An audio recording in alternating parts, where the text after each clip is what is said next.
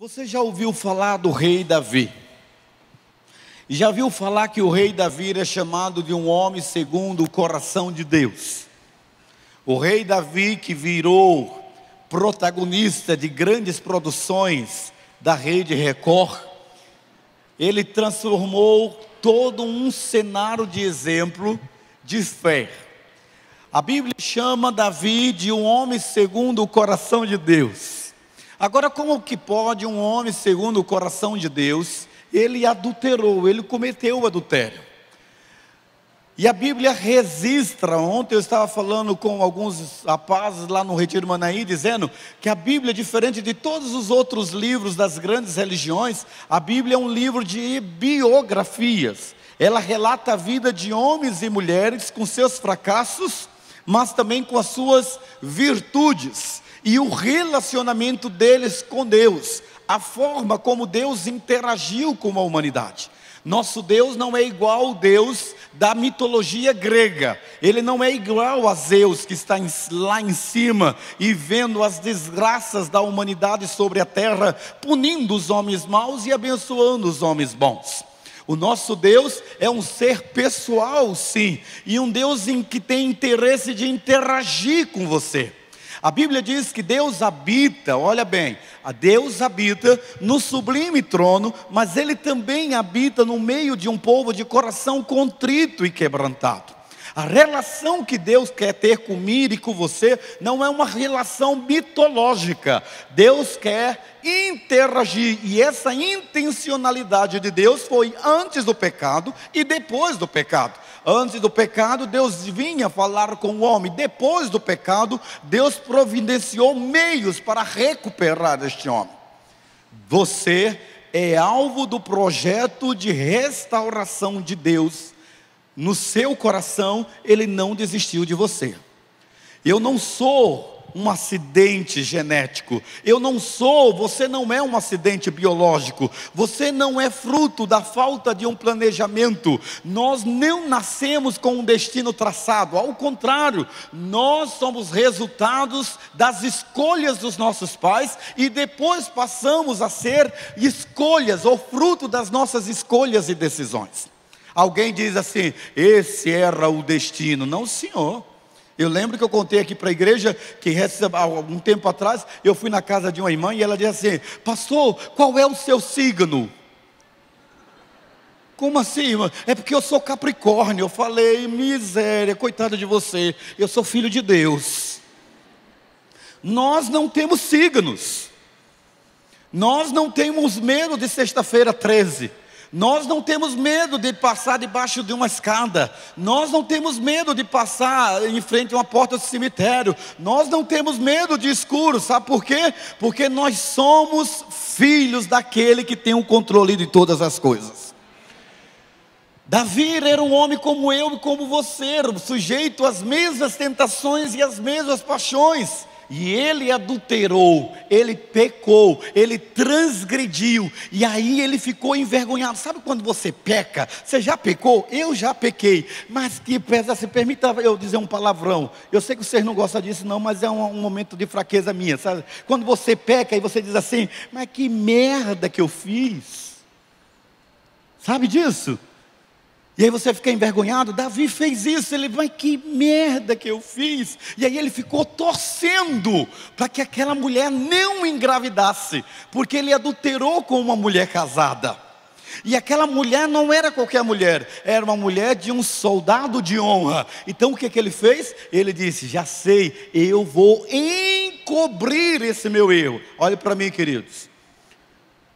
Quando você erra e você não trata o erro e quer encobrir, a Bíblia diz que um abismo chama o outro abismo, um pecado chama o outro pecado, uma situação de desregrada abre um precedente para uma ilegalidade na sua vida. Davi fez um plano, olha o plano de Davi, ele cobiçou aquela mulher, agora não foi qualquer mulher, viu gente? Davi deu Batseba, aquela mulher chamava-se Batseba, ela estava lá no jardim do palácio tomando banho. Davi é rei e ele está no palácio. E lá no palácio ele vê aquela mulher tomando banho. Então ele olha para aquela mulher e ele cobiça aquela mulher. Ele abre a janela da sua alma e enxerga a possibilidade hedonista de ter um, um momento de prazer. E ele maquina aquela situação e dorme com aquela mulher. E ele diz: besteira que eu fiz. E agora? tenho que resolver isso. Ele começa a planejar, e aí ele planeja: já sei, eu vou dar férias para o marido dela, porque eu sou patrão dele. E o parte do plano, eu vou dar férias para ele. Quando ele chegar aqui, eu vou providenciar um banquete, uma festa. E aí nessa festa eu vou dar muita vodka para ele. Eu vou embebedar ele e vou mandar ele para casa. E chegando em casa, ele vai ter uma noite, porque vai que ela engravide, vai dizer que é do marido. Só que o marido daquela mulher, Urias, era íntegro demais e disse: Não, senhor, eu não posso beber. E eu não posso beber porque eu estou em guerra e eu sou solidário com os que estão em guerra. Porque se há uma passeata, uma greve de caminhoneiro, mesmo não sendo caminhoneiro, eu vou ceder, Senhor. Eu não sou brasileiro, certo? E aí ele se solidariza. Ele entra naquele projeto e diz: Não vou fazer isso. E Davi fica pensando: Não deu certo o plano A. Vou para o plano B. Eu vou dizer: Então tá. O que, é que você quer? Não, eu vou voltar para a guerra, Senhor. Se o Senhor queria me dar férias, eu não quero férias. E aí Davi diz assim: Então faz o seguinte: leva essa carta para mim, para o general. Na inocência, Urias pega aquela carta, plano B ele vou mandar o general colocar ele na frente da batalha, assim ele morre, ela fica viúva, e quando ela ficar viúva, eu caso com ela, e o filho que nascer será meu, ou ao menos será dele, e eu vou bancar de bonzinho. Olha que história. Parece uma teledramaturgia da Globo, não parece? Mas esse era o caráter de um homem sem Deus.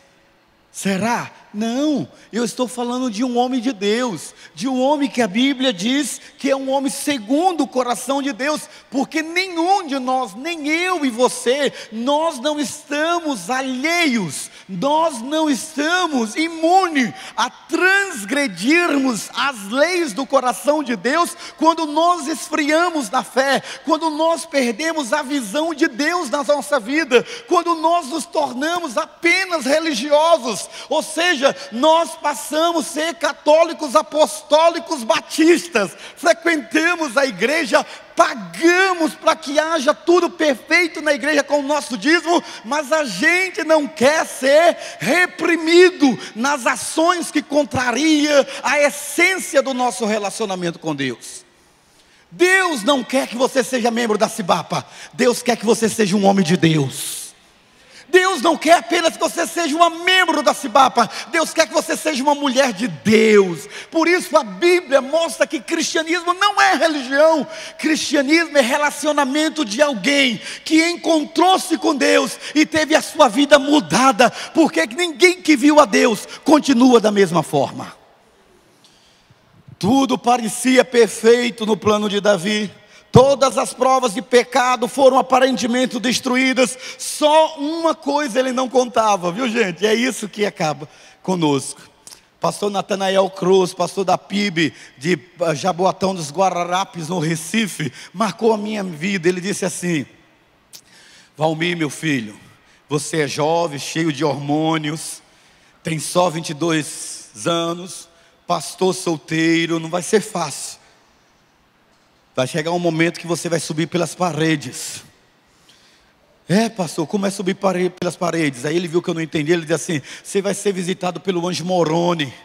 Falei: Que anjo é esse? É o anjo da sexualidade. É o anjo que deu as placas dos mormos para Joseph Smith. E aí ele disse para mim: Mas guarda o negócio que eu vou dizer para você, meu filho. O pecado, ele é mais caro do que você pode pagar o pecado dura muito mais tempo do que você pode aguentar. E o pecado é maior do que você pode medir. Então não vale a pena pecar. Amém? Diga para a pessoa que está ao seu lado: essa foi para você, não foi para mim. Pode dizer para ele: isso aí foi para você. Não vale a pena. Nós não temos estrutura para isso. Deus sabe todas as coisas. Davi achou que o plano dele era perfeito. O que ele não contava é que nos atributos de Deus, Deus tem três atributos: Ele é onipresente, Ele é onipotente, Ele é onisciente, Ele vê tudo. E ele viu o que Davi fez. E um dia Davi está lá dizendo assim: matei Urias. E ele matou Urias mesmo. O marido da mulher morreu, o bucho dela cresceu. Ele casou com Batseba.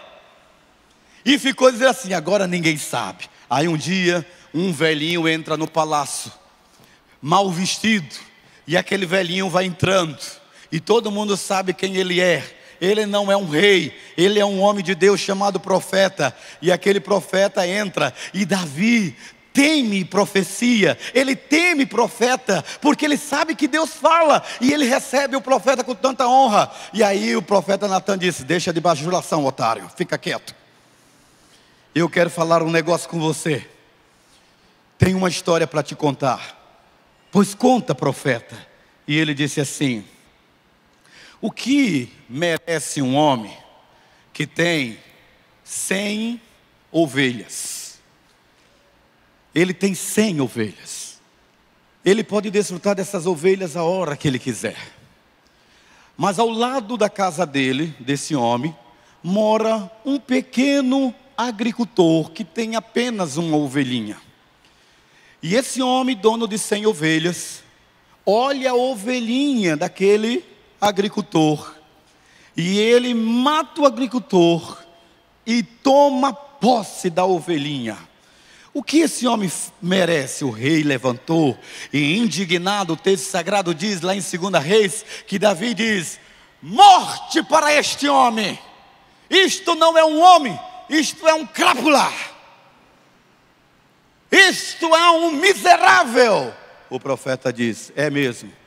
E o que ele merece? A morte. O profeta diz: Verdade, esse homem é você. E aí ele caiu em si. Deus descobriu. Não há nada encoberto debaixo do céu e da terra que Deus não possa saber. Deus envia a Davi o profeta Natan e ele conta essa parábola e esse homem deve morrer e ele diz: Tu és um homem, rei. Você acha que Deus não viu o que você fez? Davi então é tomado por um sentimento de culpa e de horror. Essa é a diferença entre Davi e talvez entre ele e você. É que ao invés de mandar matar o profeta, ele assume que ele é pecador. Ele assume que ele está fora do centro da vontade de Deus. Ele assume e ele chora. Ele entra em depressão. Ele clama ao Senhor e foi nessa condição então que ele escreve o Salmo 51. O salmo de Davi, ele está em depressão, ele perdeu a alegria de viver, ele perdeu a alegria de ter a presença de Deus na vida dele, ele perdeu a alegria de sonhar os sonhos de Deus, querido, porque o pecado tira de você a alegria de consertar a sua vida, o pecado faz com que você confesse Jesus Cristo, mas permaneça ainda nas trevas, o pecado faz com que você ache que a imoralidade é normal, que a profanalidade de tudo que se diz respeito a Deus seja aceitável. Davi agora está triste, arrependido. E ele então escreve o Salmo 51. Mas Davi, ele busca restauração. Porque cristianismo não é religião. Cristianismo é a intencionalidade de Deus de transformar o pecador miserável que você é em um pecador regenerado, em um homem desprezível, desprezível para um homem honrado nessa sociedade, para fazer com que o traste de marido e a tola de esposa que você é na pessoa mais admirada nessa sociedade. Pastor, isso é possível? É, porque em Deus tudo é possível. A fé não é para você deixar de ser católico, deixar de ser espírita. A fé é para que Deus restaure em você o que o pecado danificou em você, a imagem e semelhança do Senhor. Enquanto Davi calou o seu pecado, a sua vida murchou, querido. O texto sagrado diz que os seus, seus ossos secaram, a alegria da salvação foi embora, porque a mão de Deus pesava sobre ele dia e noite. Só sabe isso quem viveu o pecado e sabe que passou para se arrepender. E Davi passou por isso, eu passei por isso, e tantos outros que estão aqui. Nós não somos perfeitos, mas acreditamos em um Deus perfeito que restaura a alma. É por isso que Davi vai à presença do Senhor. Ele disse: Enquanto me calei, até os meus ossos estremeceram. Sabe o que é pior? É que quando você está doente, toda a sua casa fica doente e você não percebe que está doente, e não percebe que a sua casa também está ficando doente. E quem é o culpado? O diabo? Não, não culpe, não culpe o diabo pelas desgraças da sua vida, porque a Bíblia diz que aquele que confessa e deixa alcança misericórdia, mas aquele que encobre os seus pecados, esse nunca há de prosperar. Davi sabia disso? Não há libertação, querido não há cura, não há restauração onde não há arrependimento, porque o arrependimento é a porta que se abre da graça de Deus sobre a sua vida.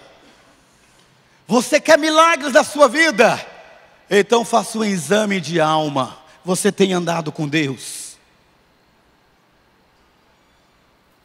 Essa é a pergunta para mim e para você. Davi não estava andando com Deus. O primeiro passo da restauração da vida de Davi foi o reconhecimento do pecado.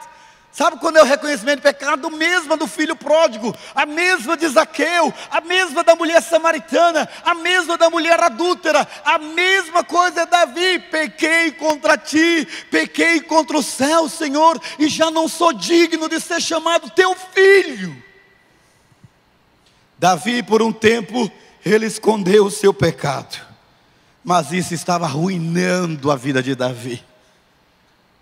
Ele então olhou de uma maneira séria para o que tinha feito, e a convicção de pecado foi o primeiro passo para que ele experimentasse a restauração da bênção de Deus. Sabe quando eu cheguei nessa igreja, há 11 anos atrás, eu fazia em todo o culto da quarta-feira dizendo o seguinte: o homem que não anda com Deus, a bênção vem correndo e ele vai se afastando. O homem que anda com Deus vai andando normalmente e a bênção de Deus vem correndo e vai o alcançando. Sabe por quê? Porque Deus tem prazer de fazer de você o alvo da sua bênção, amém? Deus tem prazer de ver você prosperar. Deus tem prazer de ver você se deitar com a sua esposa no seu leito e ter bênçãos para contar. Deus tem prazer de ver os seus filhos sorrindo, porque você expressa ternura, porque você expressa carinho, porque você expressa afeição, porque há comunhão na sua casa, porque quem semeia ventos colhe tempestades, mas quem semeia amor desfruta de paz. E você só pode ter isso se você ficar assim, ó, com Jeová. Jeová Jireira é o Deus que provê. Religião nenhuma é capaz de mudar o seu coração, nem Sibapa é. Você pode ser membro da Sibapa e estar debaixo de maldição. Você pode ser da Cibapa, mas está com o coração em trevas. Você pode ser da Cibapa e está vivendo uma dubialidade de vida. Mas o seu e o meu compromisso é experimentarmos algo que Deus tem de melhor. Davi tem essa convicção, por isso que a Bíblia diz que ele é um homem segundo o coração de Deus. E por isso não faltou. Sabe de onde nasceu Jesus? Jesus é dessa descendência. Ele é bisneto de Davi, o homem que adulterou. É de lá que vem o nosso Messias. O problema não é pecar, o problema é ficar no pecado e não confessar o pecado. A Bíblia diz que aquele que confessa e deixa alcança misericórdia, mas o que encobre não prosperará. Não olhe para os outros, não julgue nem culpe os outros, querido. Seja honesto com você mesmo. Davi poderia dizer, mas Batseba estava com uma lingerie da Demilos. Quem mandou ela tomar banho em praça pública? No passeio público? Não é assim que a gente faz? Porque a gente se acostumou na nossa cultura de que os homens gostam de, as de olhar e as mulheres gostam de serem olhadas. É verdade mesmo. É verdade. Eu fico absurdo. Sabe por que eu não vou para academia? Eu não vou para academia lá porque é erotismo puro. Eu estou até precisando malhar. Mas o que me dá mais raiva é ver umas piriguetes gospel da academia, gente. As mulheres colocam uns trem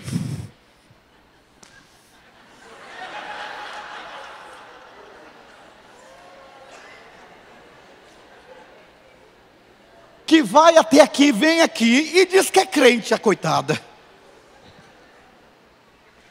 Ainda fica na esteira, recebe a cura. Ao cão. Querido, dá licença.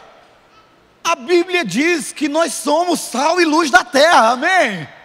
Que nós precisamos saber a nossa identidade. Você não precisa andar como beata, mas também não precisa andar como prostituta para ser olhada.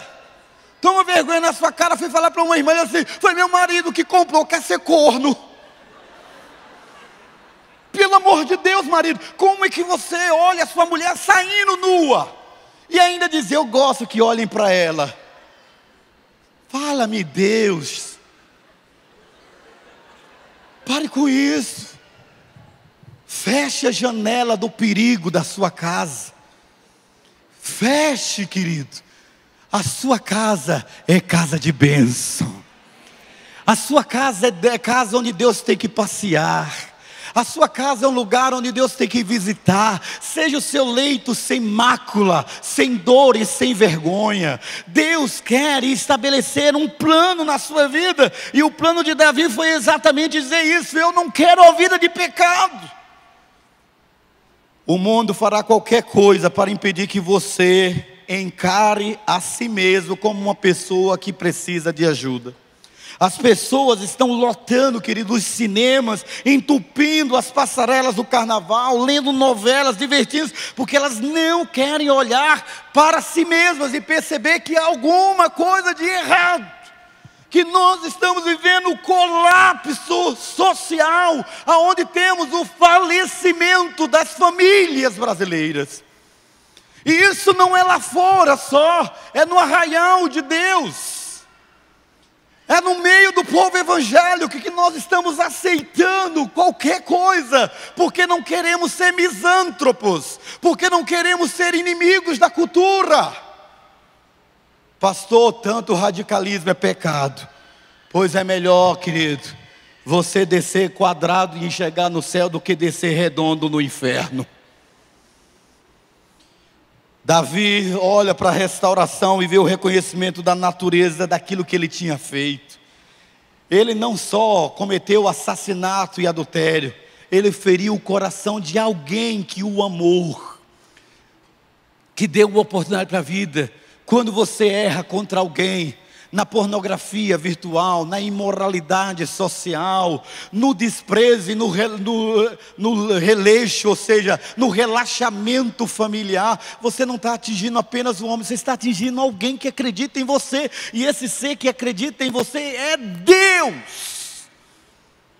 Se tem alguém que mede você pelo que você é e não pelo que você tem, é Deus. A fé em Jesus Cristo é um momento de reabilitação e restauração. Deus não quer mudança de religiosidade, Deus quer é manter uma aliança de relacionamento com você, amém? Porque só assim nós mudamos. Davi usa três palavras, ele diz: Senhor, eu transgredi, Senhor, eu sou iníquo, Senhor, eu sou pecador. E ele confessa diante de Deus tudo o que ele tinha feito. Pensa no homem um homem de Deus. Eu ouvi um testemunho agora no retiro da Rede Viva e um camarada ele disse assim para mim: Meu pai me ensinou que um homem chorar é sinal de fraqueza. E eu tenho descoberto nos últimos tempos que chorar na presença de Deus é onde há a minha fortaleza. Porque é isso que Deus espera para mim e para você. Deus sabe quem nós somos e do que precisamos e porque Ele sabe quem somos e do que precisamos, é que Ele se levantou do seu trono com o seu cedro e estendeu para mim e para você, porque a Bíblia diz que nenhuma condenação há para os que estão em Cristo Jesus, nosso Senhor. Você foi chamado para ser livre, porque a Bíblia diz que em liberdade o Senhor nos chamou para vivermos um tempo de paz e não um tempo de guerra. Ei, olhe para mim, seja forte com o que eu vou dizer para você. Você pode não estar em guerra com o mundo, porque você fez uma aliança com o mundo por causa do seu status quo. Mas a pior guerra é aquela que você declara contra Deus. A pior guerra é aquela que você celebra, optando negociar uma transigir, uma aliança com o mundo em detrimento da, do seu relacionamento com Deus. A Bíblia diz: O mundo vos odiará como me odeia. Por isso o texto sagrado diz que Davi pecou contra Batseba, ele pecou contra Urias, ele pecou contra a sua família, ele pecou contra a sua nação, ele pecou contra os homens que foram mortos na batalha, mas ele teve a coragem que eu quero que você tenha nessa noite. Ele disse: Senhor, eu confesso que pequei, pequei contra ti, somente eu pequei. Deus não rejeita um homem de coração quebrantado. Não coloque, querido, sua fragrância polo, sua fragrância tome. Não coloque a sua beca, seu salto Carmen Steff, seu sapato Rael, Rafael Steff. Não coloque sua camisa do Dudalina. Não penteie o seu cabelo. Não se maqueie para esconder o pecado, porque o pecado não se esconde de Deus. E já que o pecado não se esconde de Deus, você precisa decidir nessa noite continuar vivendo no pecado ou sair da lama onde você está, porque Deus quer lhe dar novas vestes e te chamar de meu filho. É isso que Deus quer. E é por isso que o texto sagrado diz que Davi, ele peca, mas por que ele pecou contra Deus? Porque sempre que pecamos contra alguém, estamos pecando contra ele, porque alguém, aquele alguém também sairá manchado pelo nosso pecado. Estamos ferindo alguém que Deus ama. Estamos nos intrometendo na obra da criação. Davi violou sua consciência, ele desobedeceu a palavra, ele ultrajou a santidade de Deus, ele escarneceu do amor de Deus, pisou na graça e cuspiu na bondade do Senhor. Tem alguém que foi mais bom com você do que Deus? Tem alguém que mais deu oportunidade para você do que Deus? Como que podemos dar as costas a alguém que fez com que nós nos tornássemos o que nós nos tornamos? Davi reconhece que ele não tinha como se esquivar da culpa, ao contrário. O texto sagrado diz que é preciso ter profunda consciência do seu estado de condição. Você tem, querido? Davi disse: Tem misericórdia de mim, ó Deus. Eu queria que dessa noite você dissesse isso: Tem misericórdia de mim, ó Deus. Eu esfriei na fé, eu vacilei, eu sou vacilão. Davi era rei, era rico, poderoso, famoso. Há um autor que diz que Davi era bonito. Ele tinha traços finos, cabelos ruivos e nessa fase ele estava cinquentão. Cinquentão é tudo de bom, né, gente? Coroa enxuto. Davi tinha caráter e personalidade. O carro de Davi é um Land Rover. Imagina. Mas Davi descobriu que nada disso importava se ele tivesse que negociar a sua comunhão e o seu relacionamento com Deus.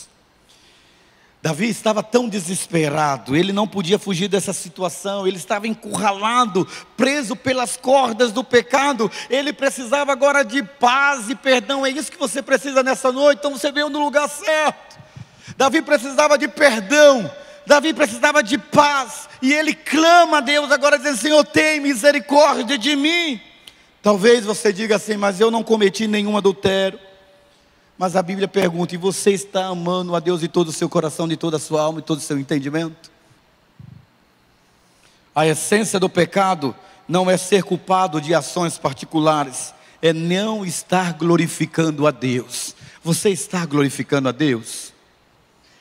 É preciso ter profundo desejo de perdão divino. Veja o versículo 10, versículo 1, parte B. Davi tem consciência da sua culpa e ele não para por aí, só sentiu o peso do pecado e levar o remorso à autodestruição. Ele viu que ele estava se autodestruindo. Olha para mim, para eu concluir para vocês aqui, ó.